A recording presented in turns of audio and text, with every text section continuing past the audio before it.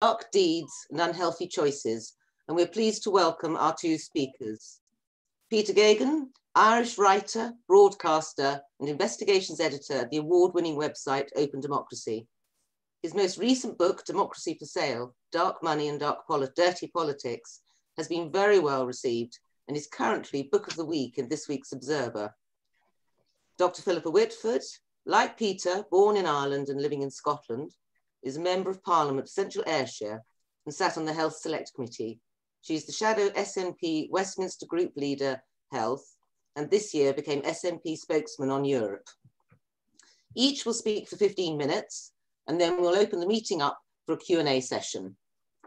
The theme of tonight's discussion will be the darkening political situation in the UK with a government which plays fast and loose with the truth and sees nothing wrong with breaking its international obligations, while a combination of Brexit coronavirus threatens the future of British industry, the economy, and our NHS.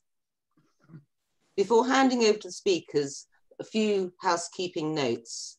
Firstly, the event is being recorded and we hope to have the video available by the end of the week. So check our Facebook page just for updates. Several questions have already been submitted, but please use the chat function to put your questions to our panel. If you could use hashtag question and hashtag named speaker, if that is particularly relevant, to ensure your questions are picked up easily. Turning now to our speakers, I will ask Peter to speak first. Before falling down the rabbit hole of dark money and dirty politics in Britain, Peter tells me le he learned to wrestle in Mongolia for a BBC Radio 4 documentary and is reported from a wide range of countries, including Albania, Kosovo, Bosnia, China, Argentina. The list is seemingly endless. He has written extensively on Northern Ireland and the independence debate in Scotland and elsewhere in Europe. He is also co-founder and current chair of Scottish investigative website, The Ferret well worth having a look. Peter led Open Democracy's investigations into dark money in British politics, and his insight into these dark machinations is sure to be of value to us all tonight. Peter, if you'd like to come in. Oh, thank you very much for that very kind introduction. And I guess I'm going to talk for about 15 minutes. I'm going to try to talk about some of the issues that my book raised uh, and kind of some of the, the background and maybe I'll try and make it a bit current as much as I can as well. But I'm going to start back in the past. And as Joe mentioned, I have, uh, you know, I've, I've done a lot of reporting over the years. And this book and this project, these last few years where I spent looking at the role of money and power and lobbying in British politics, kind of happened almost by accident. I kind of fell into it doing one of those things I often do, which is reporting. And uh, I, it kind of came about two days before the Brexit referendum, and I was in Sunderland. I was working for the Irish Times at the time. I was freelancing for them, uh, working on their reporting around the Brexit referendum. And I was up in Sunderland doing that thing that journalists do. I was going to try and take the temperature ahead of the referendum to see how people were feeling. And I must say, it was quite a gloomy uh, 48 hours I spent in Sunderland. I went out to the Nissan factory. I met people who worked in Nissan who were going to vote leave.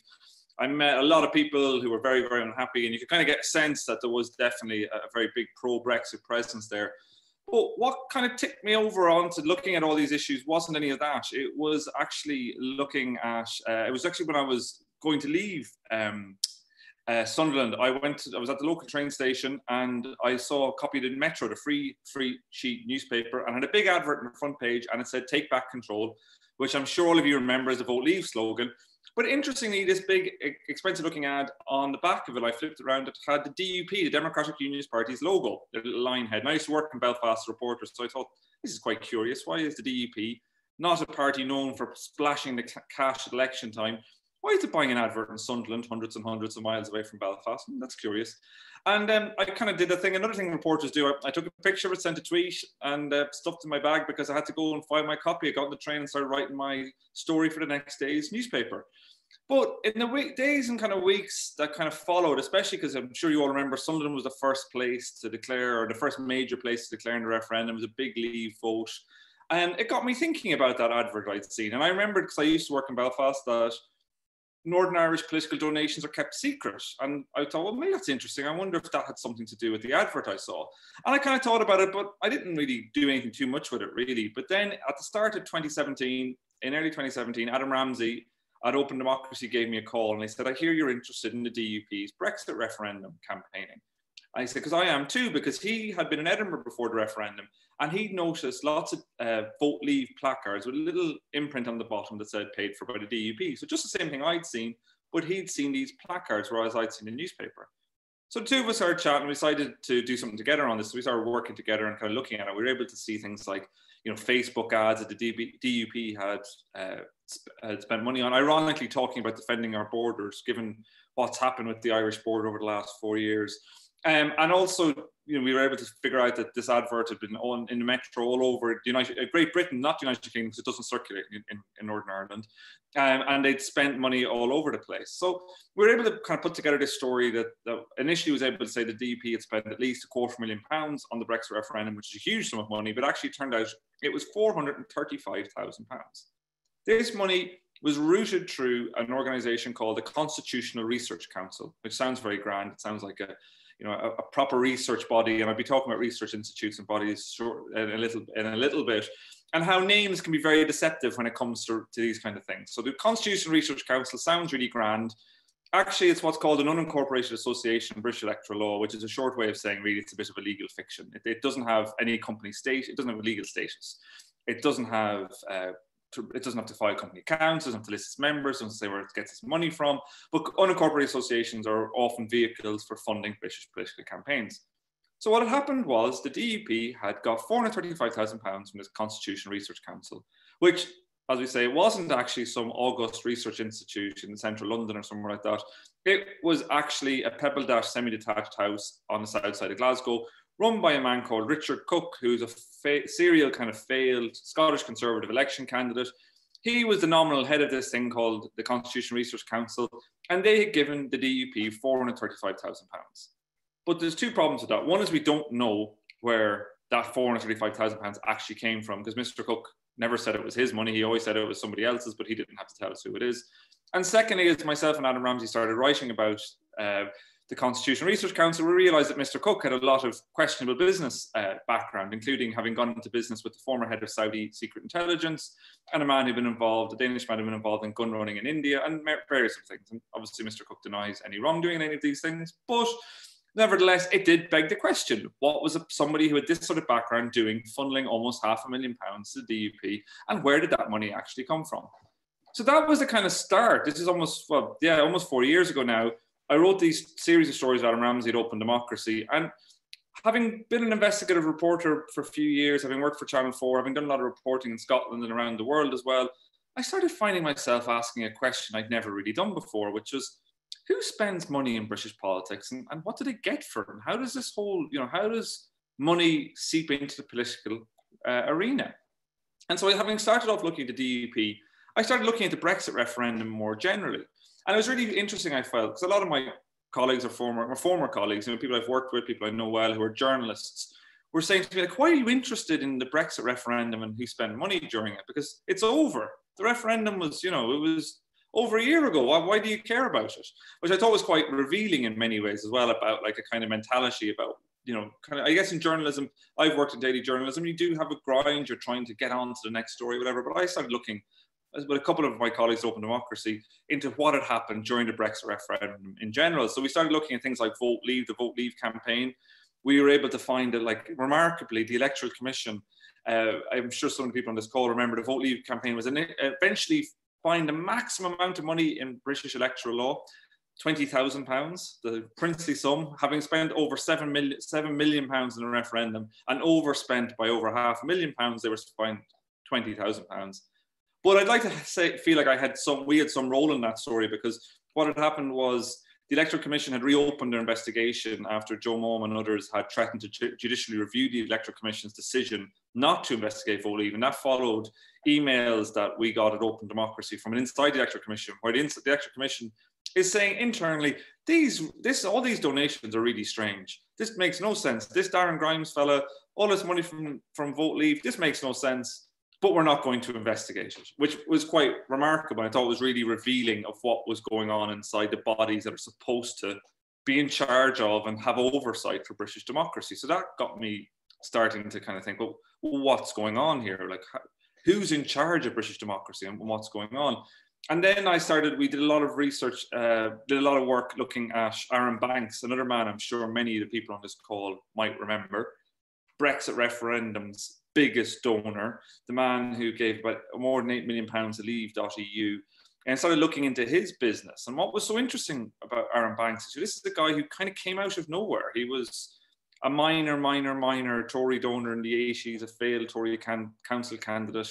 He pops up offering a million pounds to UKIP around before, in the run up to the 20, well, 2015 general election, really. And next thing you know, he's bankrolling this huge campaign in British politics. And again, what I thought was really interesting was a lot of people, journalists, you know, they wrote about him. They wrote really glowingly about him. I think a lot of people kind of bought into his hype. He's kind of got a bit of a spiv character. You know, he he's claimed to have been worth 250 million. So the Sunday Times reported he was worth 250 million. Next thing you know, everyone's saying he's worth 250 million. We spent a lot of time, myself and others, like burrowing into his finances. And I can tell you he's not worth 250 million. He's nowhere near 250 million. But not only that, we started looking at, well, what was going on inside these campaigns? Because there's lots of laws around British politics. There's too many. It's really complicated. And They don't work. It was one of the things I started to fi- figure out when I was doing all this research. But we started looking at, well, what was going on and how does, how does a campaign, how is his campaign being run? And what was really interesting about Arron Banks was that he had this insurance business in Bristol, which he said had nothing to do with his political campaign. These things were totally separate you know, these this was these he had one political campaign and his insurance business, and why that matters because actually in British electoral law you're supposed to declare if you've got a campaign working for you and you're not saying who it is. But anyway, I myself, my colleagues, um, started you know, I started like really looking into this. I started talking to people who'd worked for Arron Banks' campaign. I spent a lot of time in Bristol trying to figure out well, what was going on with Arron Banks' campaign, and actually were able to find out that a lot of things Arron Banks had said about Leave.eu just weren't true. You know, his campaign had work, his campaign and his political campaign, his business interests were really, really interlinked. The same people were running all of these things. You know, people who he said were actually working for insurance business were working in the political campaign, and vice versa. He was selling insurance to his Leave.eu supporters and uh, using insurance data to uh, to sell Brexit to insurance customers, which is again completely against the law. But all he ended up getting was a bit of a rap across the knuckles because and that's the thing i found time and again when i've been doing this research is that if you were willing to break the law if you're willing to break electoral law or push the boundaries you will get away with it. There's almost no sanction. There's very few rules in british politics that are actually upheld. You know if you look at america michael cohen got a many a number of years in prison. Michael cohen famously donald trump's fixer for breaking electoral law.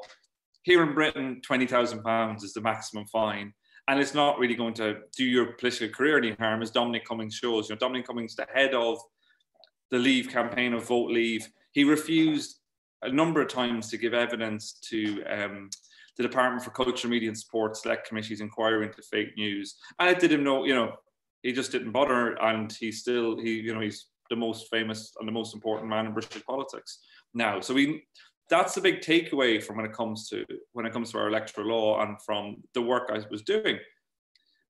So moving on a little bit, like what happened then was I started going, okay, well, I've looked at all this Brexit referendum. I've looked at all like I've looked at the Brexit referendum. I found all these instances of things that like are awry. You know, instances of overspending, instances that things that were never investigated. Like for example, almost all the Brexit campaigns on the Vote Leave side, so Vote Leave, another group called Veterans for Britain, the Democratic Unionist Party, they all spent huge amounts of money on online advertisements with the same company, which you might go, okay, that's reasonable. Maybe it's the only company that's good at it.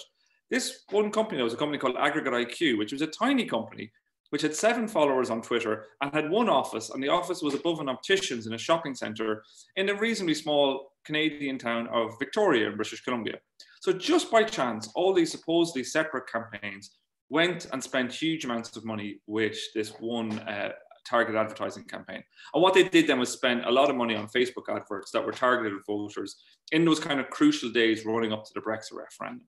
And I mentioned this at the start of my book when I was in Sunderland as well. What was really interesting was a lot of people I talked to mentioned Turkey. They were talking about Turkey a lot. And I was really interested. I was like, why are you all talking about Turkey? Because Turkey wasn't that big of a, of, of a kind of campaign plank officially for Vote Leave. They didn't talk about that much.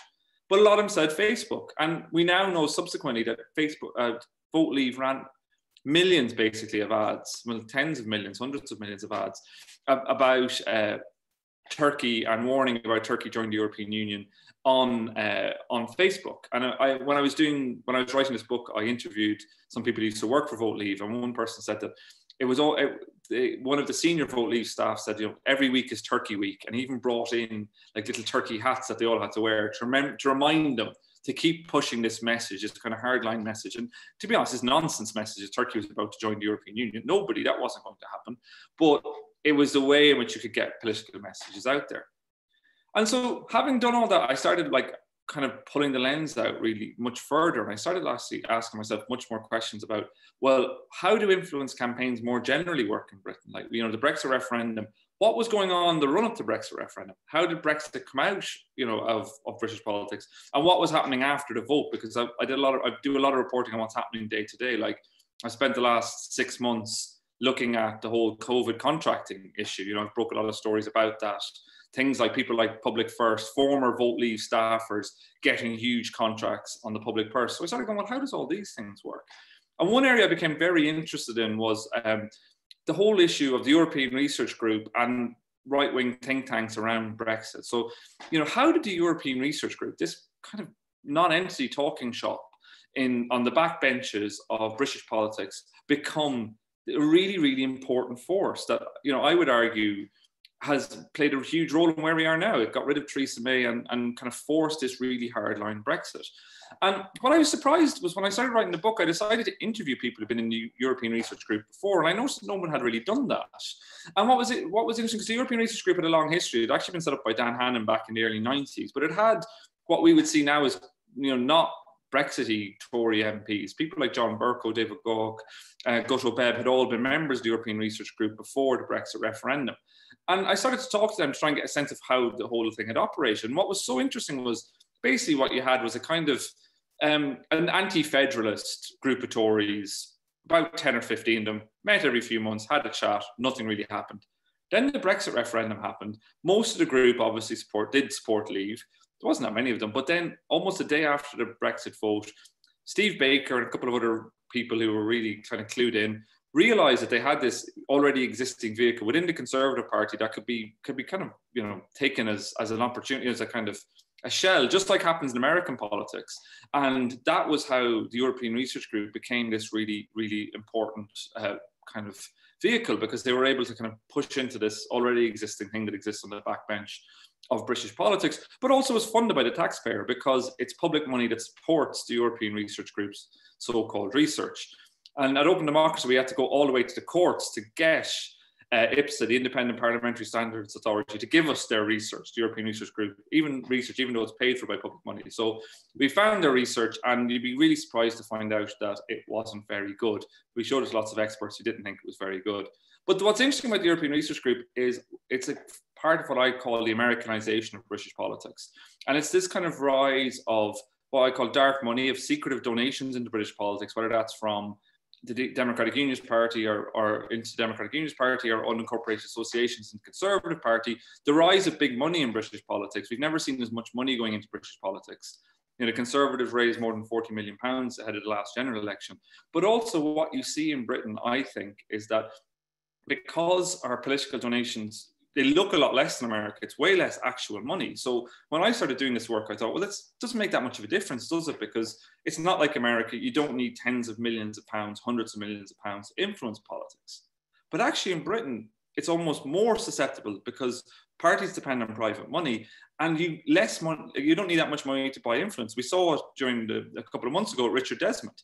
Richard Desmond goes to a Conservative Party fundraiser, pays 12 grand for a table, and he gets to sit next to Robert Jenrick, the housing minister, who then, by his own admission, shows bias in his planning application, saving Mr. Desmond 50 million pounds on uh, on his his property development in East London. That's not bad return for your money. 12 grand, 50 million, you know. It's it's there's there's it clearly there's money to be made there, but it's not just someone like Richard Desmond. For fifty thousand pounds a year, you can become a, mem- a, a part of what's called a conservative leaders group.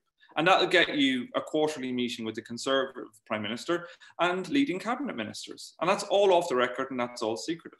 But that's not the only aspect, I think, of the Americanization of British politics that we've seen as well. I, I, lo- I talk a lot in my book and I spend a lot of time looking at the rise of these think tanks, of libertarian think tanks, the Institute of Economic Affairs, Centre for Policy, Policy Exchange, all these groups which have got names that sound very legitimate, sound very, uh, you know, sound like they're all doing kind of independent research, but they're actually funded by corporate donors. And going back to the 70s, these people have had a real impact on British politics. They've pushed British politics in, in directions that I think you could argue were not like popular decisions.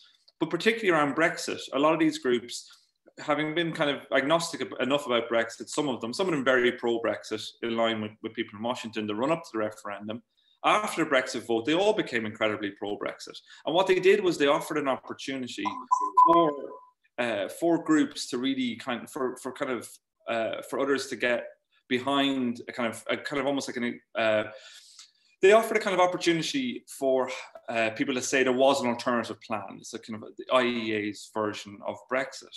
And if you think these groups don't matter now, if you remember recently, uh, Matt Hancock made his announcement that he was going to um, get rid of, abolish Public Health England and replace it with this new organisation headed by Tory peer Dido Harding, whose husband is a Tory MP.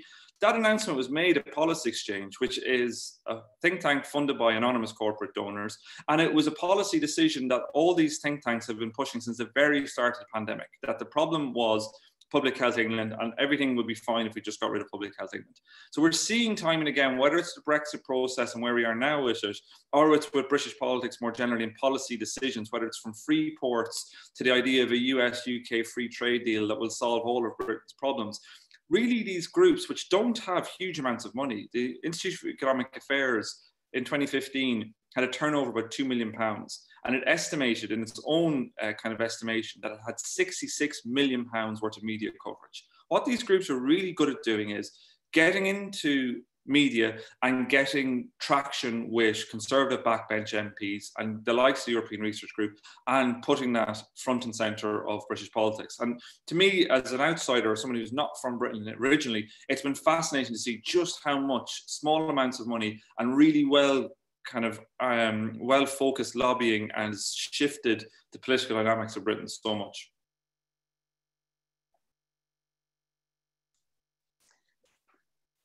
So thank, thank you very much, Peter. That was really interesting. I think we could all say it's been a very long four years for all of us, uh, but your investigations have certainly been vital to ensure that all these attacks on our democracy are being highlighted and challenged. So thank you very much for all your hard work. Thank you. Okay, thank you. And now um, I'll turn to Dr. Philippa Whitford. And um, before her election to Westminster in May 2015, Philippa focused much of her clinical career in the field of breast cancer. She was a consultant breast surgeon for over 19 years in Ayrshire and Arran and was lead clinician for that health board and lead clinician of the West of Scotland MCN from 2006 to 2009. She was also involved in the first SIGN guidelines for breast cancer. An impressive resume for a woman who was told halfway through medical school that she couldn't be a surgeon as she was a woman. In addition to her parliamentary roles noted before, she is currently on the Committee on the Future Relationship with Europe, which is chaired by Hilary Benn, and she's committed to the European cause. Her husband, being a doctor from Germany, also helped. We are looking forward now to hearing her views on the worrying activities in Parliament and the situation we're faced generally. Thank you, Philippa, if you'd like to speak. Uh, thank you very much, Joe. Um, I'm going to talk uh, very much about uh, what I've been talking about for the last over four years, which is the impact of Brexit on health. It's kind of what I spoke about in 2016 in the campaign, but I wasn't very well known. So I wasn't on telly. I was just doing little bits on the internet and on Facebook, and clearly nobody was listening to me. My speeches at the time were able to be positive. Please be aware of all these great health benefits that we get from Europe. Don't throw them away. Unfortunately, my speeches now tend to be kind of a bit more depressing. So I warn you, get your hanky out. And that's simply because the EU is about much more than trade. It is about social protection. It's about reinforcing the things that are important to us. And it has been about setting rules that make sure that individuals can't be exploited. And obviously, that's very much that level playing field is very much what the battle between the UK and the EU is about at the moment. So just thinking about the big impacts on health from Brexit. So I'm going to take you through kind of about five big impacts that you will notice in your life if you are someone who uses the NHS, which let's face it, is most of us.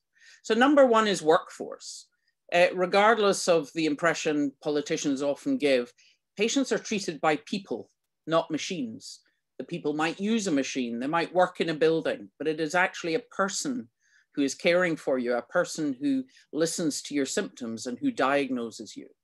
And here we are, we are four years on, and there are still EU citizens who are struggling to get settled status, to get full settled status, or their families are struggling. So what we've seen is we've seen a certain percentage of doctors and nurses leaving the UK, but we've seen a 90% drop, 90% drop in EU nurses coming to the UK. Now, at a time when England has 43,000 nursing vacancies, that is something that is absolutely dire. The next one is about medicines and medical devices. Basically, there's about 41 million packets of drugs go from the UK to Europe every month, and about 37 million that come the other way. The problem is they're different drugs. The UK doesn't produce insulin we import all of it. We don't produce radioisotopes that we use in things like cancer scanning and a certain amount of cancer screening. And the problem, particularly with radioisotopes, you may remember all the talk about stockpiling and so on in 2019, is you can't stockpile radioisotopes. The radioactivity literally disappears in a matter of days. Now, the European Medicines Agency, which used to be based in London, has now shifted to Amsterdam. And because it was based in London, it actually attracted other pharmaceutical firms from elsewhere in, in, elsewhere in the world to base themselves there as well. So it attracted some very high powered jobs. But the issue isn't the European Medicines Agency leaving the UK. It's the fact the UK is leaving the European Medicines Agency because it's a single drug licensing system for the whole of the EU. And that means that a new drug gets from the laboratory bench to patients in a much shorter time than it would have been the case in the past. New drugs are launched in Europe at much the same time as America because it's a market of about 500 million people. The problem is the UK is no longer part of that market. And like Canada and Australia, they have to wait an extra six months to a year before new drugs tend to be launched in their market.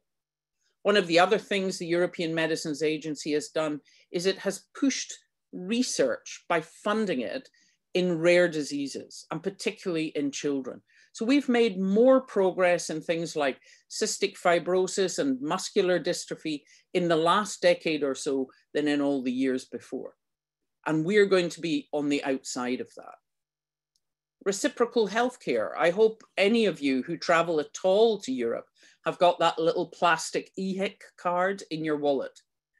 Now that's something that means that if you're visiting Oktoberfest in Munich and you have a wee shandy too many, fall over and break your ankle, you'll be treated as if you were a German citizen.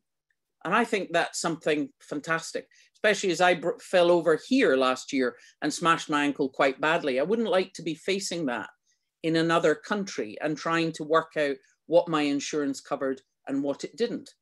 Now, some people say, oh, but we, we take travel insurance anyway.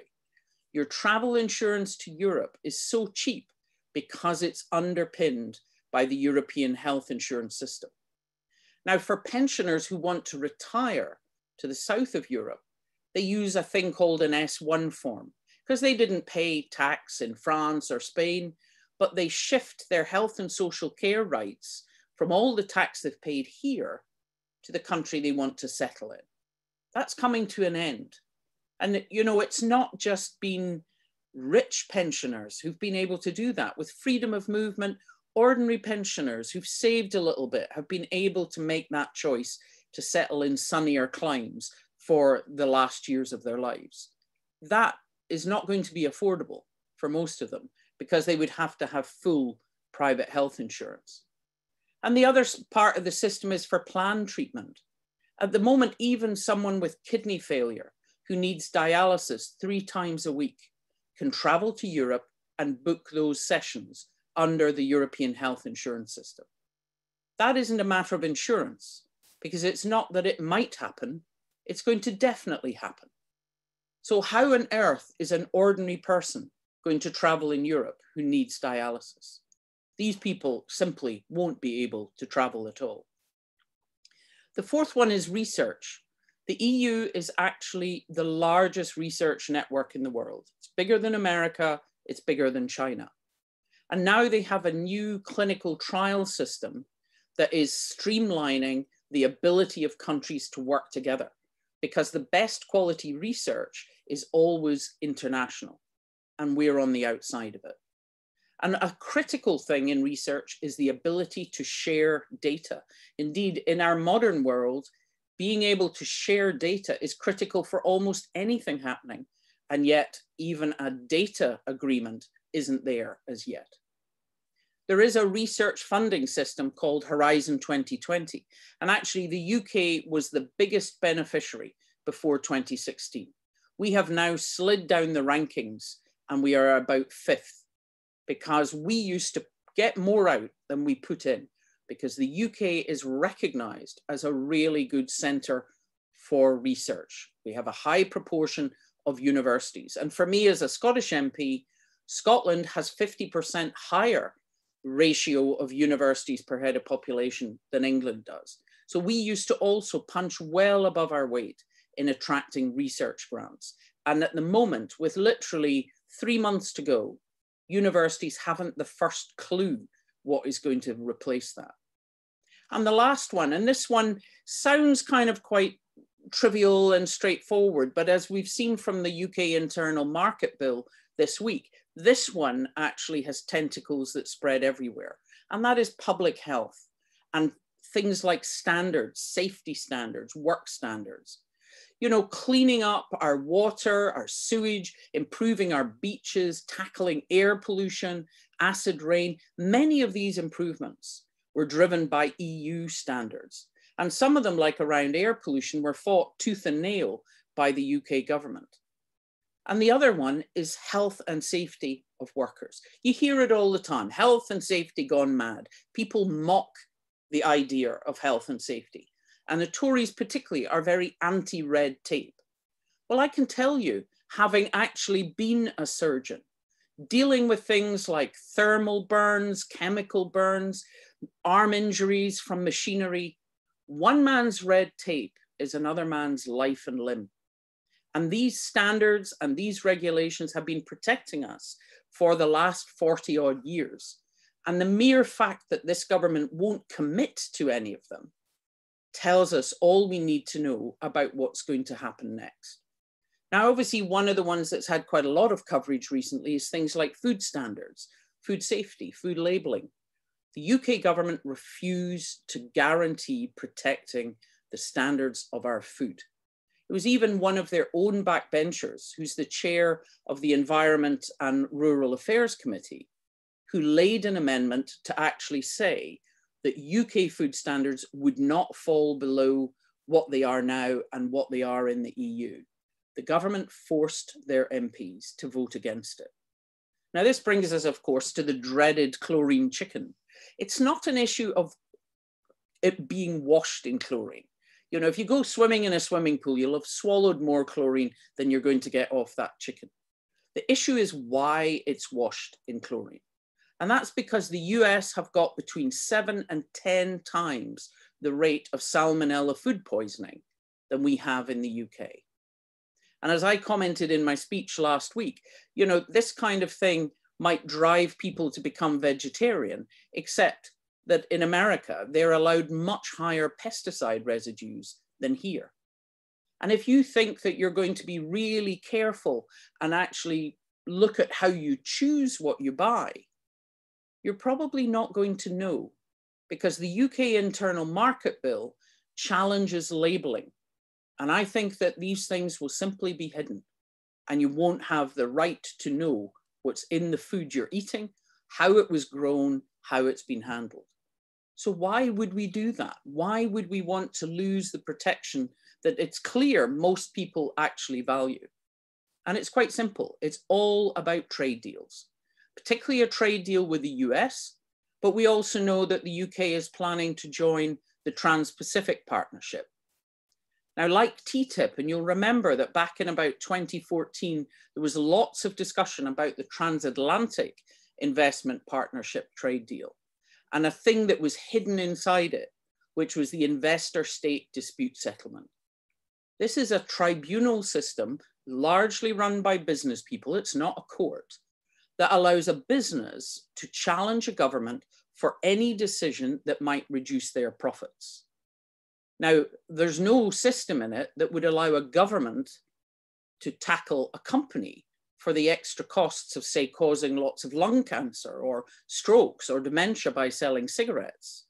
But Philip Morris was able to challenge Australia over plain cigarette packaging. And even if a government will win the case in the end, the cost, the time, and the pressure of that creates a fear within governments that they will be challenged and taken to an investor state dispute tribunal. So that undermines public health measures that are for the benefit of all of us. And very much the internal market bill that went through last week, which is a power grab from devolved governments after 20 years of Wales, Scotland, and Northern Ireland having their own parliaments. The question is why? Why would they dismantle devolution at this point in time? And it's simply to be able to offer the whole UK market to the US or access to the whole UK market through the Trans Pacific Partnership. Because often the devolved governments actually have higher regulations. Things like public health, it was Scotland that was the first to launch the smoking ban. We wouldn't be able to do that now after the UK internal market bill. In its white paper on the bill, the government even challenged the minimum unit pricing of alcohol policy that we have here in Scotland. And although bills or acts that are already in existence are exempt, it could be, it's not clear, but it could be that if the Scottish government wanted to make the unit price higher, even that amendment would suddenly bring it under this bill and they would lose the power to do so. On the environment, Wales was the first to introduce a carrier bag charge. Scotland was the first last year to ban plastic cotton buds. We don't allow GM crops we don't allow fracking. That is not what the UK government want. They don't want diversity. The internal market of the UK, if such a thing exists, has coped with variation for decades and decades. But suddenly now, everything has to be under the control of Westminster. And all of that is about selling it out to Donald Trump. Now, one of the other things that the bill includes, which is very frightening for us in Scotland, is power over public procurement, which is a completely devolved competency. There is no marketisation in NHS Scotland. We still have a single unified publicly delivered NHS in Scotland. In NHS England, under Section 75 of the Health and Social Care Act, the thing that has torn your uh, NHS apart, all possible contracts have to be put out to tender. And there were six commissioning groups in Surrey a few years ago who realized that Virgin weren't doing too well on the kind of community health services side, and they wanted to just bring it back under NHS control. They weren't breaking the contract, the contract was coming to an end. And yet Virgin sued them. And while the figures are secret, it's estimated that it was over £2 million that those commissioning groups had to pay to Virgin to settle out of court. That's two million pounds that was not spent on drugs or hip replacements. And we're seeing the same outsourcing drive during COVID. Millions of pounds of PPE contracts have been given to crazy companies, a pest extermination company, a sweetie maker, companies with no experience of PPE and very little money registered at Companies House being given contracts for over 100 million. Test and trace in England has also been completely outsourced, and we all know what a shambles that is. The testing was set up after being outsourced to Deloitte, to the commercial lighthouse labs. and Serco is running the call centres for contact tracing. Now in Scotland, we are still stuck with the testing. We have a lighthouse lab in Glasgow, whereas if they had funded NHS labs to expand, we would have got a small share of that money, which we could have invested in our NHS labs. However, our contact tracing is under our own control and is run by traditional NHS public health teams, not commercial systems. They're reaching 98% of COVID cases and 97% of their contacts. Serco are barely reaching 60% of contacts. That means 40% of people who've been in contact with someone who has COVID, who's proven to have COVID, have no idea. So they are wandering around, not isolating, because simply no one has been in touch to tell them. Now, one of the other things that's threatened to our NHS because of an American trade deal is you may remember that Trump was talking about things like drug prices. He blames the NHS for drugs being so expensive in America. And one of their demands is full market access with no central procurement. Now, it won't mention drugs in any trade deal, it won't mention the NHS, but it talks about full market access with, and therefore no central procurement, no price agreements or fixing. And it was estimated by Panorama that drug costs in the NHS across the UK would double or triple. Again, the NHS simply can't afford this. Now, in Scotland, we have central procurement of drugs, of machines, of PPE. We have our own stockpile, and we never ran out during COVID. We also have had our own parliament for the last 20 years. And actually, it's something that's quite important to people in Scotland. We've been able to make different decisions to protect ourselves from some decisions taken at Westminster but also to look at our greater deprivation, to look at our aging population.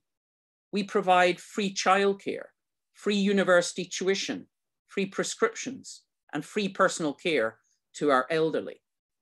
Not all the people in Scotland support independence. I'm not going to claim anything like that. But the vast majority of people support devolution.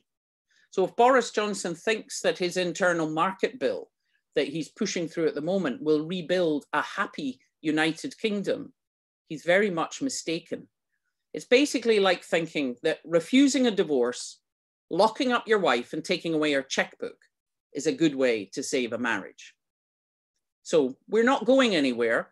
We're not laying charges across the Solway Firth, and we'll still be neighbours. But I have to warn you, independence in Scotland is coming. So we might as well accept it and do it in a friendly manner rather than being vicious to each other. Thank you. Well, thank you, Philippa. Um, you were so right that the full impact of Brexit on health issues here in the UK is going to be something that will affect us all deeply and certainly a great cause for concern. Uh, here in Oxford, we've already seen firsthand the effect of so many EU citizens who work in our Oxford hospitals leaving the profession and the country. We're made poorer by that and so sad to see them go. So thank you for your words, very much appreciated. Now I'm going to hand over to Peter and Susan, who've been picking up questions and um, from the chat, and we'll direct them at the person, whichever of the speakers is designated. But thank you both very much. Well, thank you indeed. Thank you, Joe. Thank you, Peter and Philippa. Formidable uh, and I think highly memorable. Um, we've got people from all over the country on the meeting, but of course the majority are Oxford. Um, I want to just start with um, with a question for uh, Peter, and um, it's from Colin Gordon. He says, "Your book is a whole set of snapshots of the inner history and players of the ongoing Brexit coup, stroke takeover, stroke corruption. Um, do we now have a working theory of the current UK regime power structure e.g., how much power does Cummings have? What is it, and where did he get it from? Your book is especially strong on the links from Tufton Street to US, so what about overseas players, including the Americans and the Russians? Over to you, Peter. It's a very interesting question. I think it's a question a lot of political journalists are asking all the time. You know, I'm really struck when I talk to people I know who are political journalists, and a lot of them are unsure. I think realist, really, I think it is what I think you know Johnny Freedland and others christened it as soon as Boris Johnson came into power and appointed Dominic Cummings. I think it is a vote leave government. I think that's the reason why Dominic Cummings stayed after his lockdown busting trip to Durham. I think the one fundamental tenet of the government is that it's it's it's the government of vote leave. It's really really striking if you look at the appointments within government.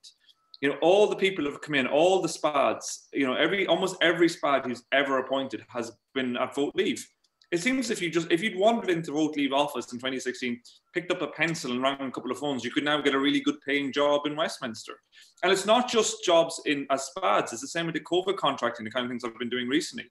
Whether it's Hanbury Strategy, which is Paul Stephenson, who's at vote leave, or um, Public First, which is Rachel Wolf, who wrote the Tory Manifesto in 2019, and James Frayne, who's got a huge long history of Cummings dating back to the 2003 anti-devolution uh, referendum in the northeast of England, the kind of defining feature of this government is vote leave. And it kind of makes sense if you look at how the government operates. The government operates like a campaign. It's a constant campaign. Like policies are kind of floated and then pulled back. It's not about doing things. It's not about achieving things.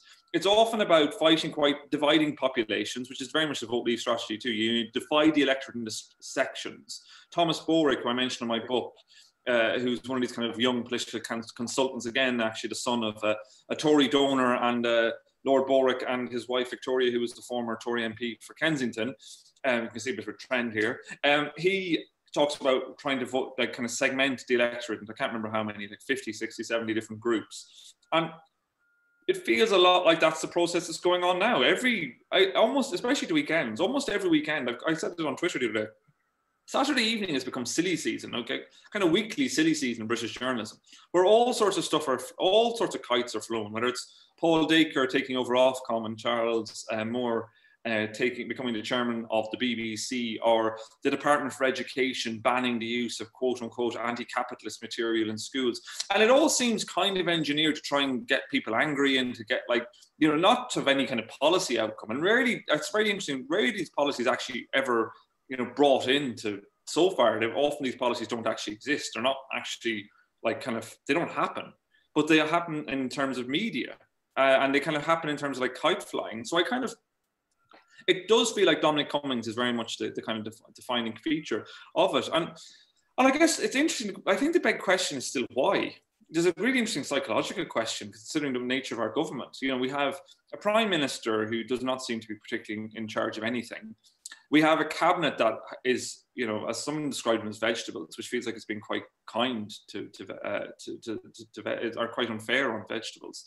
Um, you know, they are powerless and rudderless and, and don't even pretend that they think they have any. You know, Gavin Williamson still has a job. He's still the education minister. That's that says everything you need to know. Um, and so what you've got at the centre then at the apex is, is Michael Gove and Dominic Cummings, who are two people who've got a really long history. I think Gove's relationship with this is very important. And I think one of the most interesting things I've noticed in the last few months of covering it has been the increasing amalgamation, not just of number 11 actually and number 10, which actually I think is, is probably less so than is seen, but actually the cabinet office has become this central thing, central hub for running the government in a big way. And I think a, that's really, really kind of um, quite concerning and in many ways very, very anti-democratic as well. Um, and so I find out I, it does feel like it's the, yeah, it's the vote leave model of government uh, and the vote leave approach to politics kind of in, in action. Um, Tufton Street stuff is really fascinating as well, um, in part because you know what, what I mean by that is these kind of think tanks, these kind of you know lobbying outfits, um, kind of corporate lobbyists, the, the likes of the Institute of Economic Affairs, or Policy Exchange, all these people they really, you know, they, they have a lot of sway in government, it feels like increasingly. Like, and that's where I think you can see policies happening. So if you look at Robert Jenrick's um, proposals on land, um, on, on building in Britain, which basically says that what they should do is kind of designate land as development land or non-development land. On development land, you can do whatever you want. That's straight for a policy exchange paper written by a guy called Jack Airey, who's now Boris Johnson's uh, an advisor on housing to Boris Johnson. And this is seen across the um, across the piece. You're seeing this move of people from Tufton Street into uh, Downing Street, and also in some respects, you're seeing like you know these Tufton Street think tanks just becoming much more vocal and much more. Uh, their kind of ideas are like the Freeport idea is a straight out of Tufton Street, and now it's government policy. And most people think it's a very bad idea but because we don't have much that you know it just kind of walks straight into the policy agenda so we can see a lot of it it's quite hard to figure out you know, I think it's less a case that there's some huge amount of money from America that's got some great overarching vision that they want to develop. I think it's much more kind of cronyist capitalism. So it's, it's policy, it's small, it's policies like free ports. It's like it's single interventions. It'll be interesting to see what happens around the UK US free trade deal if we ever get there. And um, we might never get there, but you will imagine we'll see even more lobbying around it. But yeah, my big takeaway is that it is it's it's the vote leave government. Thank you very much, Peter. Um, just while um, I have a word, the um, chat line is still open, so please keep the questions coming. Uh, I think Philip wanted to comment as well on that. Yeah, just, I mean, I'm, you know, talking about Tufton Street. I keep waiting to see that Kate Andrews has moved from uh, Tufton Street into the Department of Health and Social Care.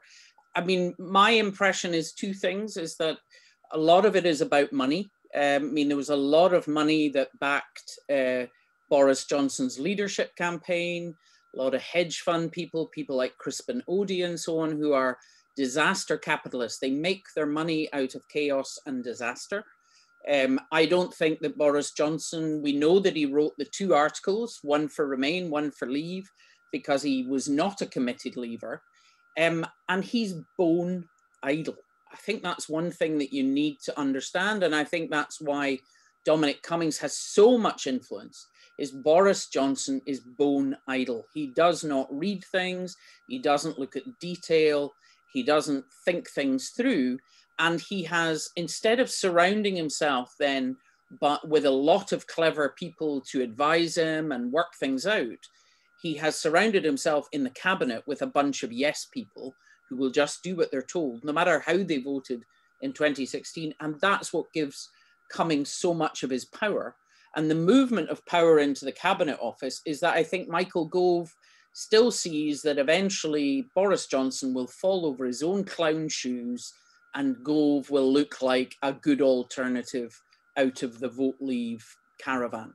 Um, and he is just gathering some of the reins into the cabinet office to have as much um, power as possible. And the problem with with Gove is he's not lazy and he's not stupid, um, and he is a committed leaver. So you know, where where we go, who knows? But um, Boris Johnson just wanted to be prime minister, and he wanted his shot after David Cameron, and that's very much what it's been about. And I think he's probably pretty disappointed at how tough a gig it has been uh, all year with COVID. I think he just expected to deliver Brexit, be feted and applauded, and that's what he's doing it for. Right, thank you. We've had some questions coming through on the chat line, so um, can I hand over to Susan? I forgot to unmute, it's the usual crime. Um, I had a question from Jane Calm, which I think probably both of our speakers will want to comment on, and is why has the media rolled over and lost any desire to investigate, inform and challenge? Peter, perhaps first? I don't think I, am going to stand up for my media colleagues. I've been a journalist for a long time. I don't think the media has has stopped trying to cover politics, trying to inform and challenge. I think there's much more systemic problems, and I think if it was just a case of having different journalists and different media doing something differently, I would be all for it and think it was great. And I'm not saying there isn't stuff that I would like to see better reported. But I think there's a much more systemic problem. So what you've got is, you know, we, are now in 24/7 media, so like it's really hard. So stories run really quickly. There's a huge amount of like back, you know, back when I started as a journalist, mainly it was in print. So you had newspapers, and they had to be filled once a day. Now you've got huge amounts of acreage online that you want to fill as well as a newspaper. Plus you've got 24/7 rolling broadcast news, and I think that's a really that's changed dynamic in a massive way because it means things happen much more quickly and stories get forgotten about much more quickly and journalists move on and they think the public is moving on. They're constantly journalists always want to be new with stuff. And i think that's a i think it's a problem actually. I do think that's a problem. I think it's almost hardwired into journalism this idea that you kind of are always looking for the new thing and whatever's new is important rather than what's um, you know, rather than spending time to kind of excavate and try and find out what's actually happening, which is the kind of work I try to do. So I think that's the that's the thing I think that's missing. I think you know, and I think that's the that's the real challenge. And what's really hard as well is I think there's been a real politicization of journalism. I think we've seen that. You know, I write my book about Liam Fox. So you know, Liam Fox, um, when he was defence secretary and Atlantic Bridge, the long it's a long story, but the, the short version is basically Liam Fox ran this think tank slash charity that was funded by dark money from America called Atlantic Bridge. He'd spent the early 2000s cultivating lots of, of American Republicans. Once he got into office, he was made Secretary of Defense, kept up this, this uh, think tank slash charity, and had his best mate attending all these meetings with him as Secretary of Defense. And if you think about what happened, if that had happened now in the last couple of years, be prominent Brexiteer, so that would become a very partisan thing. So the Telegraph wouldn't touch it, and the Times probably wouldn't either. And it would become, it just, I think it wouldn't be, it would barely be a story now. I think we've got so used to levels of political corruption. Whereas back when that happened in 2010, 2011, all the Fleet Street, all the different newspapers and journalists all sort of running after it. So I think that was a really big part. I think that was really important. And also, I think it's really, you can see it with the BBC. The BBC is definitely cowed and under threat at the moment. You know, it's got this new guy in, Tim Davie, who is already talking about how the BBC needs to be more impartial, which I think is like, you know, already kind of making this idea that the BBC is, is biased within it. I think the kind of stuff we're seeing about Paul Dacre going to Ofcom and Charles Moore. I think there's a kind of constellation of things I think are making British journalism really hard to do. And also there's a lot less money in British journalism than there used to be. So it's kind of like a really, really unhelpful, like kind of constellation of forces. I'm not saying that there isn't a huge need to do more of this work. I think there's a kind of sphere amongst some people saying public broadcasting to do more of this work. And then at the same time, you've got newspapers like the Telegraph that have just gone down, you know, have just gone down completely been red pilled and don't cover any of this stuff. And I think when things aren't being covered, like it's interesting to say with my book, my book was only reviewed in the Guardian, well, the Observer, which is kind of like the Guardian. I was reviewed in all the Scottish papers, all the Irish papers, but nobody else in Fleet Street touched it. I think it's because of this kind of bifurcation of, of, of British journalism. So I think it's a bigger problem, unfortunately, than just the lack of appetite in newsrooms. I mean, I, I would agree with that. And I think that um, I think some of the fundamental issue is, as you said, like the Telegraph and so on, you know, e even the BBC, you know, there is a degree of partisanship. I mean, it's always been allowed in newspapers, but they're they're more and more blatant. There's there's no attempt to have any kind of discussion. And even the broadsheet end of that, where you would have expected, you know, yes, we are supporters of conservatism. However, this is a mess. You know, a lot of that is disappearing because it's absolutely partisan. And you know, the work that you were doing, Peter, in open democracy, more and more of our challenging media, our investigative journalism, like what you do at the moment uh, with the ferret, is literally self-funding, crowdfunding, you yeah, know, online. Very much. Yeah, yeah, yeah. And, and the problem is, you know, if you're going to do a Watergate investigation, that's going to take you months to try to unpick something. You know how does how does tufton street connect to the elliots? How much money have they given to matt hancock etc you know it's very hard to do that if actually you're not putting in any copy you're not getting any funding and you need to put food on the table. So actually a lot of it is um, is about the structure of the British media now. That, you know, with Harry Evans dying recently, you know, the idea of a, of, of an unimpeachable, you know, high quality newspapers is, is just something that we've lost. And we've lost it over over decades. Rupert Murdoch obviously bought up a lot of papers, and in Scotland, he bought R.S. McColl's, the newsagents that my mum used to work in the head office. He would not allow certain magazines and newspapers to be sold. So you had someone who owned satellite TV, newspapers, and the distribution of newspapers. How on earth did we ever allow something like that to happen? So when people I see in the chat quite a lot, people are saying, what can we do? One of the things is that these, these little groups that are going, you know, you've read our article, Byline Times, Open Democracy, whatever it is, can you spare a little bit of money to support us? Do that. Because without that, there won't be any voice at all that is digging down and revealing some of these scandals. I would second that. Thank you, Philip. No, I do agree as well because it's, it's true too. Though, like I, I work. Send me the check in the post, Peter. Yeah, I check by post orders. You know, any you know bank bank transfers all accepted. But no, it's true. I think there's it's a huge, huge problem, and it's it's part of the reason uh, why I've ended up working. You know, having worked in what we might call mainstream media for years, I now work for Open Democracy because I've been able to do the stories I want to pursue, but it's a huge challenge financially. And but it's the only way, unfortunately, at the moment, it's the only way to get the time and the space to do this work. And I think it's really important. Thank you. Um, I'll pass over to Lizzie to ask the next question.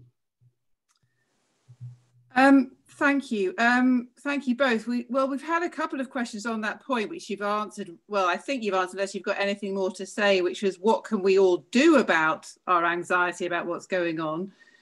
Um, and the other question, which I think is a very good question too, which just builds on the th same similar sort of things, is that when do you think that is, is a question from um, Annette Shaw? Um, how soon do you think the lies and the cheating will be uncovered when Brexit starts to bite? Do you think it will be uncovered? I think it's a question for you both, but maybe Peter first. I guess it depends what you mean by uncovered. I guess we do. I feel like we have a fairly good idea now of what happened during the Brexit referendum. Like I, I feel like we were pretty good. You know, we know lots of laws were broken. We know quite a bit about what went on. I think there's still, there's still a few unanswered questions. I think we a fairly good uh, idea about it. I guess it, there's a there's a bigger problem, which kind of I find with a lot of my work and, and trying to like trying to to to uh, to, to make it more um, uh, to try and like take it out to other audiences. Like, how do you get people to really care and engage with it. I think that's a really big problem. And I think, you know, we, it isn't helped by the way sometimes it's reported in general. Like I thought the way, you know, the opportunity, what we saw, say, with the Electoral Commission report into Vote Leave.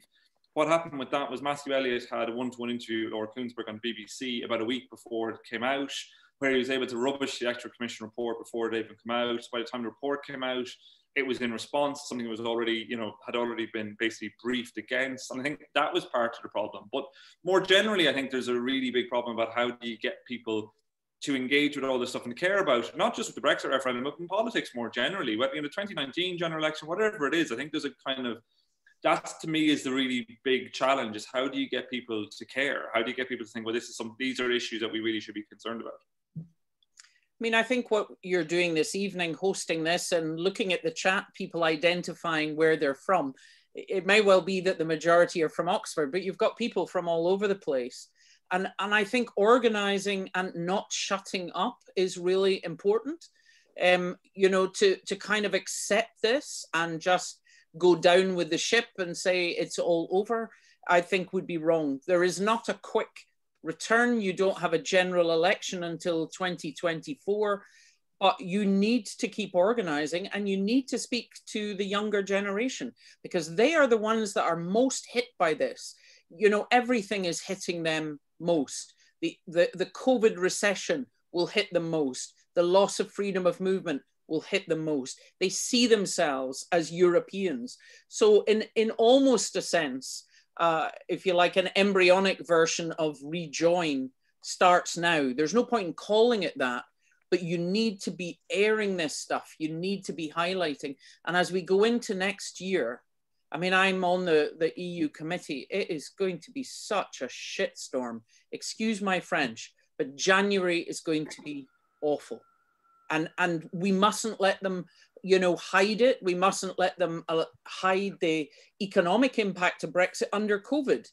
That's one of the reasons why I'm afraid they're going to go for no deal because they get a bigger political gain from their, you know, absolute pure uh, Brexit purists, whereas a hard deal doesn't make me happy. I'm still moaning, but the Brexiteers are moaning as well. So politically, what they're asking for is such a hard deal that the, the economic gap between their kind of deal and no deal is, is relatively small. It's about one and a half, two percent GDP. And I think that they will go for the harder one. And they will just think they can sweep it under COVID, blame everything on COVID. Oh, we'd have had a brilliant Brexit if only we hadn't had the pandemic. So I think talking to people, funding researchers, getting it out there. And one of the things that's very striking in Scotland after our referendum is how political people are. The mere fact I'm sitting here talking to you, I never, as a breast cancer surgeon for 33 years, would never have thought I would have ended up in politics. But I know so many women who were part of our campaign in 2014 who are MSPs, who are councillors, or who are standing next to you. So a lot of it is that this debate and this discussion can bring people into politics. And I think it's really important to bring young people in. So keep meeting, keep funding, keep talking about it because to just throw your hands up, that that's just not acceptable because otherwise it will get worse and worse and worse. They will keep pushing. Well, thank you very much. a chastening thought. Um, the next question actually came from Dave Winpenny, and he asks, um, in the context of the threatened appointments to Ofcom and, and the BBC, um, which may or may not be kite flying, we don't know, but it's a question. Um, is the threat to the independence of BBC and Ofcom real? So maybe Peter would like to take that first. I guess it, I think it is. I think it's already quite real you know, I think we've definitely seen, um, you know, I think the appointment of Tim Davie, I think the noises Tim Davie's been making, like it's quite clear. If you even just see, like, you know, if you're asking about why journalists aren't doing more of this, like if you look at the BBC, there's they've got a really good strand. Well, they had a really good current affairs strand um, called um, uh, Inside Out, which was made. It was made a lot of regional versions of it. I knew the one in Bristol because it did some good work in Arron Banks that's just been gutted. It's now all been moved, centralized to Birmingham. I think there's like three people in charge, like 150 hours of television or something in, ridiculous. Don't know. The journalists have been either deployed or let go. So all these investigative journalists and regions have just been have been cast adrift, and that's my big problem. Um, that's my really big problem. You know, that's my that's a really big concern. And I think what you what you'll see, what I would worry, I really worry about is you're going to see less and less of in like investigative journalism and insightful journalism, and I think the the extent to which the conservative narrative, and the Brexiteer narrative of the last four years, that the BBC is the enemy of people and journalists in general the enemies of people, the liberal metropolitan elite, and all those other cliched terms, and the extent to which it's now become a bit of an accepted thing in debates, and you'll see it especially on the BBC because the BBC struggles to defend itself. You'll have someone like Claire Fox you know, blithely declared that like, you know, the, it's journalists are full of lefties and that's, you know, and then it becomes that that's kind of accepted. And I think there's a real problem with that. I think um, there's a kind of, uh, I think there's a, yeah, I think there's a real problem with that. Like, I wouldn't be surprised. I saw Tim Dale, uh, Iain Dale, the kind of Tory-minded LBC presenter, say that he didn't think that Paul Dacre and or Charles Moore would get those jobs. That's very possible. It could actually be just a culture war thing, but then I wouldn't be surprised if instead of that they just appoint people who are equally, or, or maybe not quite as as as uh, as obnoxious, but and that becomes as, that seems the compromise, and that seems to be the way this government works uh, in a lot of things. So I, I, I, think I think there's a lot of reasons to be concerned about the independence of these organisations, and and actually what was really it seemed really coincidental as well that these names were uh, kind of mooted the day after Andrew Neil's announced this new television channel, this new GB News channel, which I think the quote from the press release said something like, "We won't always assume that the government is wrong," which seems like a very odd uh, position for journalists to be in. I mean, I, uh, you know, just on on your last point about, you know, maybe it's someone who's slightly less horrendous or maybe less well known as horrendous uh, than uh, Dacre and, and Moore. I mean, if you go back through all the conservative budgets over the last 10 years, you will find that they do that every year, whether it's the silver tax or the pasty tax or whatever it is, or cutting the police. There's always something that is leaked and trailed in advance of the budget. It is so horrendous. Everyone is up in up in arms or up in their arms, as my German husband says. And then it's something not quite so bad and therefore everyone goes oh well that's good. That awful thing didn't happen. So you, you, know i wouldn't put that past them. But from the point of view of independence of the bbc unfortunately the bbc already lost their independence. And this happened in relation to the gulf war. I mean this happened with regards andrew gilligan and the dodgy dossier. You know suddenly the whole structure of governance for the BBC was changed, and you have a, gover- a, a government appointee who is the chair, and you have a board. And now we see in Davies, who is a former Conservative candidate, you know, saying things like, um, you know, well, we, you know, we, are getting rid of all this left-wing anti-government humor. You know, like, um, have I got news for you? I mean, it is really terrifying. Now, in, in Scotland, you know, let's just say the BBC doesn't always kind of seen as all that impartial up here, particularly if you're uh, pro-independence as uh, pro-independent as I am. But some of that was actually that it was not local BBC journalists who were allowed to cover the biggest story in their careers, but people who were parachuted in, like Sarah Smith and uh, Jim Naughtie and so on. So, so literally, London took over BBC Scotland at Pacific Quay and ran the BBC around the time of the referendum. And if you were to go back, although it was a binary question, yes, no, to independence, we would have a liberal representative, a Labour representative, a Conservative representative, and an SNP representative. So it would be three to one, even though it was a kind of binary question. So, you know, what do you mean by impartiality? How you do it? Even if you were to look at, uh, there was a professor, John Robertson, analyzed a year's worth of output, looking at how often politicians were interrupted, how often an adjective was added that was derogatory. So it doesn't need to be full on Andrew Neil British Fox. You know, it used to be a newsreader would pass no comment whatsoever. And I remember watching Dan Rather when I went to America and was shocked at how much he was giving his opinion. Whereas now we get opinion and we get opinion within the news. So actually, we're being fed that all the time by the BBC. And Andrew Gilligan was right. It was a dodgy dossier, and that was used, and that was not the Conservatives.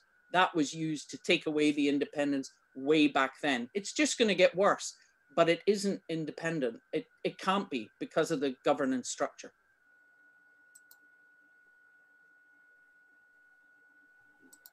Thank you both for that. Um, we have a question, it's a short one, but possibly a longer answer from Angela Hegarty.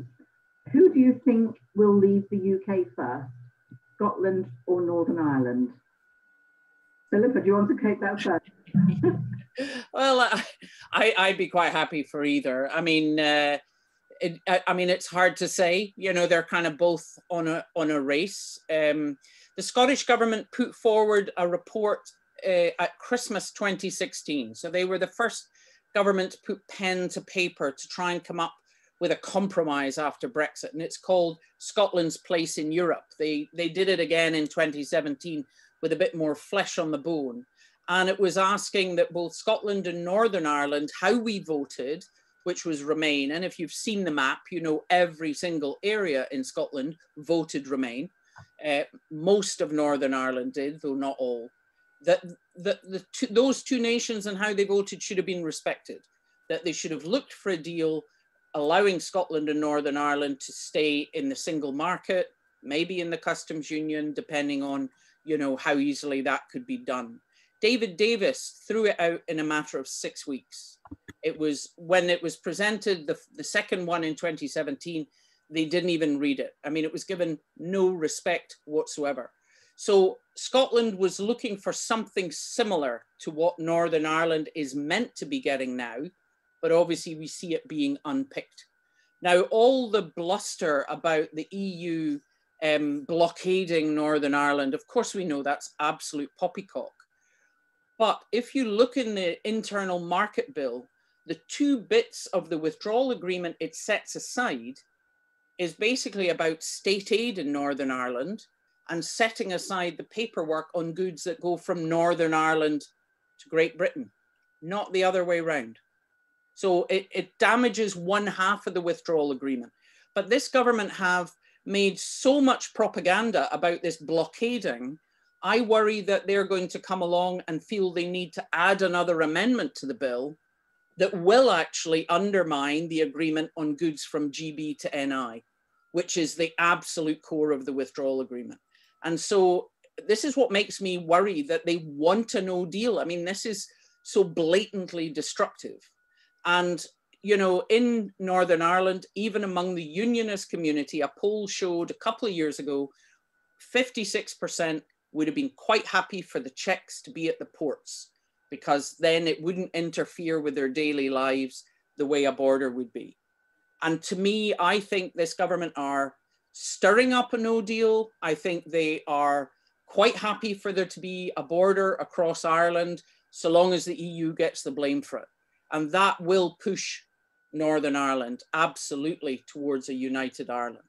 Now, it'll take time, and I don't know about the, the time scale for either. But one of the things is next year, next autumn, it is seven years since our referendum. They talk all this complete rubbish about once in a generation. That was never in the Edinburgh Agreement. The only time scale on a referendum is in the Good Friday Agreement. The people of Northern Ireland are allowed a referendum every seven years on a border poll. And therefore, that is a time period that we have been through. And obviously, I would like to see uh, a referendum next autumn because what is being done to, to hollow out our parliament is literally going to drive a lot more people towards independence here. The middle way was devolution, the compromise was devolution. This government are taking it away. I mean, either they want rid of us, and we know that surveys suggest that a lot of conservatives in England would be quite happy to see Scotland gone if it makes Brexit easier, or they're just stupid. And it's always kind of hard to know with this government which it is but I, I think it'll be neck and neck. I think it's kind of hard to call time wise. But my husband's German, and we were in Germany just a couple of months before the wall came down. And I can tell you, you couldn't see that it was coming down. And then it just came down overnight. So, you know, big radical change, it kind of simmers, it begins to boil, people ignore it or they stir it, and then all of a sudden there's change. So I, I think the United Kingdom is going to change over this next five to 10 years beyond all recognition. Thank you, Philippa. Peter, do you have anything you'd like to add? Um, no, I think Philippa has probably Philippa has probably summed it up quite nicely there. Okay, so no, no, no odds that the bookies have got on it at the moment that you want to share. Not at the moment, but I'll let you know if, if that changes. In, in which case, I pass over to Lizzie now to ask the next question. Thanks, Susan. Um, this is probably a question more directed at Philippa again, but I'm sure you might both have a view. Um, it's a question from Colin Gordon. In the last week, it's been alleged by some journalists at Byline Times that there is a kind of alternative facts operation underway relating to COVID-19, involving some high profile actors within the UK clinical research community. These are people who either think that herd immunity is a viable disease management strategy or question the value of social distancing. Two of the people whose roles have been questioned happen to be here in Oxford, Professor Sunetra Gupta and Professor Carl Heneghan. Is this a legitimate scientific debate or is there something more troubling going on?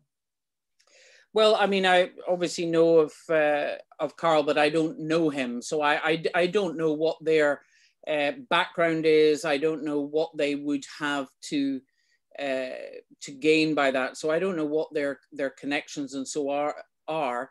It's kind of disappointing seeing people either using their own position or perhaps being used, and that's what's hard for me to tell. To, to try to create this kind of uh, narrative and to create this kind of confusion but we see it happening all over the place. I mean, we have people going, oh, why are we not just following Sweden? the, the narrative that Sweden's having a great time through COVID is just simply a lie. You know, businesses there are crashing because it isn't a formal lockdown and they're getting no support. But people are not in their businesses, they're not in their shops, they're not in their cafes. People in Sweden are incredibly wealthy in comparison to us. They live in much more spaced out housing. So, you know, the idea that you could compare you know, any inner city Bradford or Glasgow or, you know, poorer parts of London with Sweden and think that's a policy is naive. And already the serology uh, testing, which is looking for antibodies, looking for evidence of immunity, you're still talking seven, 8%. And, and that's after seven months. So the idea that we're all going to become herd immune. Coronaviruses are notorious for you not maintaining immunity long term. Now, that may well be a challenge even with a vaccine, but it's definitely a challenge with people who have milder infection.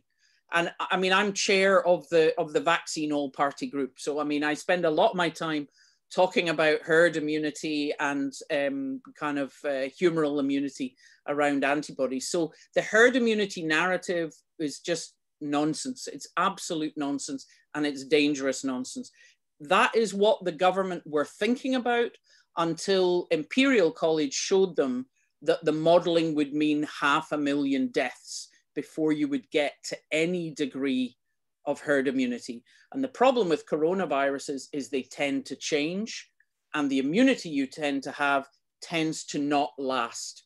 So, with both of those things, you could go through that. You could allow half a million elderly people to die. And at the end of 2021, we would be facing a third wave of COVID that was slightly different, and all of our immunity would be gone. So, you know, I don't know these specific people why they're doing that, but, you know, I mean, it's like the anti vax stuff um, within the media, in within social media, that anti state actors are always happy to to push any of this kind of thing, fund it, stir it up. I mean, Karol Sikora is another one. I mean, he's a you know respected cancer uh, specialist. I mean, I've known uh, him and his work uh, most of my career, and he's always been attacking, if you like, orthodox medical practice in cancer. But he practices privately, so he hates the NHS, doesn't support it, undermines it, etc. So I don't know their background, so I don't know the why, but we are seeing this undermining. And when you were talking about the BBC earlier, one of the things that's happened to us this this last fortnight in Scotland was the BBC suddenly announcing that they were no longer going to cover the COVID briefings that our First Minister does with our Chief Medical Officer uh, and various scientists or uh, the lead clinician of, of our NHS. And there was such an outcry. I mean, they got 50,000 letters complaining about it.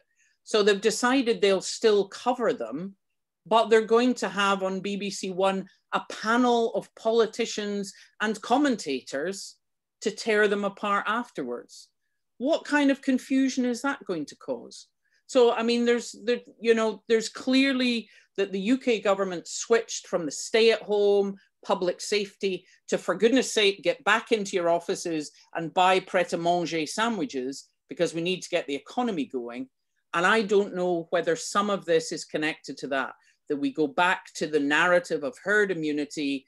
Oh, it's only old people. Let's lock old people in their houses and the rest of us can get back to normal. But there's definitely somebody there who is thinking about how they make money who is pushing this kind of narrative and getting people to avoid the whole social distancing, don't get drunk in the pub, etc. And that's they want people to think you can just go back out and you can just go back out as you were in January. We can go back out, but we can't do it the same way as we were doing it at Christmas. Thank you. Peter, do you want to add anything? No, I'm, i must confess, I'm not. I have seen that story look quite interesting, and it did look like a similar influence machine at play to the kind of stuff I, I write about. In terms of this, the, the science of it, I will definitely leave that to Philippa. Thank you. I, have been kind of cheap, cheap uh, COVID correspondent for lots of British media for the last seven months. I will get her on. She doesn't cost anything. Well, thank you for that. I'll, just move on to another area, and there've been this is a, a, common theme among the questions both sent in and on the chat, which is um, the response of Labour and now, dare I say it, the Liberal Democrats, um, which has been um, fairly low key. Um, and some questioners have raised the question of whether the SNP is really the only party that's consistently pro-European. So the questions came from Mark Wiseman, Andy Pye, and Annette Shaw. And so I'd just like to get the views of both uh, of you on the role of opposition and is it uh, is it sufficient? So Philip, Philip, I want to start. Okay, sure. Um, yeah, I mean the, I mean you know Labour must have piles. They've been sitting on the fence for four years, and you know when Jeremy Corbyn was leader, it was Keir Starmer who was pushing the Labour Party to accept the idea of a second EU referendum or whatever. But now that Keir is leader, I mean, it has been startling how utterly silent he's been in PMQs on anything to do with Brexit. And so it's back to the same sort of triangulation, what, what Labour kind of made their own back in the in the 1990s, which is, you know, your opposition's policy, but a wee bit softer so that you don't get shut out. And obviously now that they've lost the red wall, where of course there was a lot of Brexit support in the north of England, you know, they they're kind of don't really know what to do. And so often it's incredibly inconsistent what they will support, what they won't support, when they abstain, when they vote against.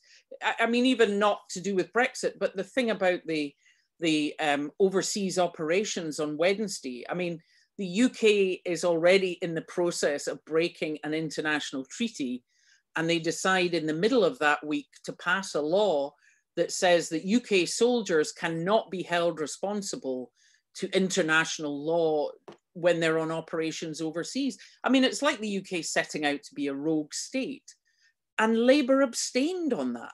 It is just unbelievable to abstain on something uh, of, of that magnitude. So, I mean, I don't know whether Keir Starmer will, will find his feet again, but at the moment they seem to be more, let's not upset anybody. So let's kind of not really have any strong policies and I'm really disappointed. Obviously, it's been your conference this weekend. Um, you know, obviously, your leader deciding that um, the Lib Democrats no longer stand for, you know, pushing to rejoin Europe, stay in Europe, or, or you know, simply being uh, European supporters. I think that's very disappointing. Obviously, for us, uh, knowing that Ed campaigned around a second Brexit referendum his absolute stubbornness around the idea that the people in Scotland should have their will uh, recognized. I don't expect any of the parties to support independence. I don't have an issue of that. But to say that the people of Scotland actually have no right to even vote on it is very anti-democratic for, for Lib Dems. But to see them as the last party who, whose entire um, raison d'etre and definition for the last four years has been their stance as totally pro-European, totally anti-Brexit. I, I was quite startled at that this weekend, and uh, you know, you you'll have more of an explanation for it than than I do. But unfortunately, for all of you that are living in England, I mean, short of the the Greens, it doesn't leave you. It, it doesn't leave you kind of uh, much expression of your political wish to support being in Europe. And, and that's always wrong. You always need different viewpoints and you always need opposition. Yeah, I think I think what's interesting, and Starmer seems to be, from what my reading of it seems to be, there seems to be kind of an obsession with trying to appeal to the, the so-called red wall seats that were lost in a general election. You know, I thought the, the armed forces bill this week was, or last week was, was you know, which basically, which is which will allow, which basically means it'll be almost impossible to bring uh, cases against British members of the armed forces for crimes committed more than overseas more than five years ago, and you need, partly because and also you need the attorney general to sign off on it, which is Suella Braverman. So good luck with that, um, and which a lot of, including senior British generals, spoke out against it. And it's, and it's had a lot of condemnation internationally that will undermine international law. And I thought Keir Starmer clearly knows this sort of territory very well you know, whipping to abstain on the vote and then uh, censoring MPs who uh, who voted who, who, voted against the bill. I thought spoke to this kind of attempt to try and triangulate. It felt very like being back 20 years ago, with this attempt to triangulate like mad out of a situation, and that doesn't make me feel. I think like it does feel a little bit like Keir Starmer. It's this kind of desire to be seen amongst Brexit supporters or former Tory vote or former Labour voters as you know the kind of patriotic guy who's uh, who's on their side. I'm not quite sure if that's going to work anyway in, in terms of getting those voters back. I'm not quite sure where it's going to leave him at the end of it all. Well, thank you. Um, one of the comments that's just come in, actually, uh, Philippa, you may be pleased to hear or not, is that um, maybe the Scots Nats should field candidates in England. Um, but I can't resist the temptation to come back to on, on the question of the, the Lib Dems because uh, several of us who are here, we're, I, I hasten to say we're a non-party political organisation. We actually have members of all parties, I think, I think possibly excepting UKIP, um, uh, supporting us. But um, I think the Lib Dems uh, had a, a, very heated debate and came out in the end saying that, uh, that they have a long-term aspiration, but not necessarily in a short-term goal of uh, or resume membership of the EU. Um, and certainly many of us joined the party because that's what uh, that's what was on offer.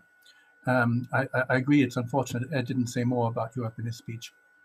Um, but um, just another question that's come in from quite a few people. I just wanted to raise this, um, and that was um, I think the people mentioning it were John, Jonathan Harris, Catherine Butler, and Stephen Little, and they're all interested in the question of whether there are parallels between what's happening here in the UK and what happened in Germany in the 1930s and whether you would apply the uh, the word fascism to what is going on. Uh, are we at that point? So maybe Peter wants to start on that one. I think you can definitely, you know, when I, I covered the 2016 presidential election in uh, the United States, uh, and I co- traveled across the United States, and I ended up. I remember I was reporting from like kind of Fifth Avenue when Donald Trump was elected, uh, and I ended up spending a kind of an evening, the night, with a bunch of what were basically neo Nazis and also Hasidic Jews for Trump. It's a very, very odd collection of people. And I wrote in my copy, in my first line, that you know, we were watching fascism on the streets of America. And my editor at the time kind of edited it out. And I do feel like in America, there's a very strong you know, sense in which I think we are, or at least with attempts at fascism or kind of crude attempts at fascism. And I think what you're probably seeing in America is, in, in Britain, is an attempt to ape a society, you know, in America, America. So I'm not quite sure if that makes America, Britain on the road towards fascism. I think what you're seeing is, I definitely think Britain and uh, Johnson is trying to ape what Trump does. Um, that which doesn't necessarily correspond to if Trump is trying to ape fascism. I mean, Johnson is. I'm not sure, but I definitely think you're seeing the kind of delegitimization of institutions, the you know kind of delegitimization of media. You know, I think all of that is very much the Trump playbook, and I and I think that's what we're totally watching in, in Britain at the moment.